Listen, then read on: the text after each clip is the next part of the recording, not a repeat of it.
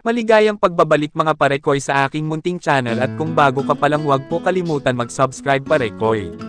At baka meron pa po sa inyo din nakasubscribe kay Sir Paul Pugong Biyahero pakisubscribe na din po at bago po ako magsimula ang aking paalala sa ating viewers na ang lahat ng aking inilalabas na video reaction ay ayon lamang sa aking napapanood at napapakinggan.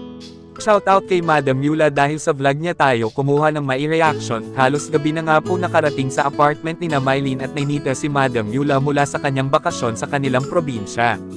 At nang kumatok ito sa pinto ng kwarto ng dalawang dalagita at pagkabukas nga ni Miley ng pinto ay kagyat na nagmano ang dalagitang katutubo ganun din si Nenita na ikinagulat naman ni Madam Yula dahil di niya inaasahan na gagawin ito ng dalawa.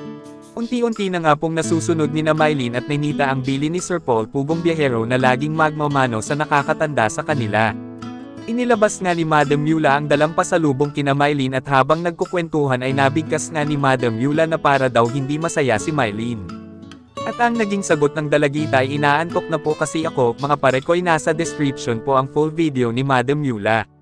So muli maraming salamat po lalo na sa mga solid supporters ng Pugong Biyahero huwag nyo po kalimutan panoorin i-subscribe like at share ang channel ng Pugong Biyahero, at kung isa ka sa nakasubscribe sa aking channel maraming salamat sa iyo pare ko'y.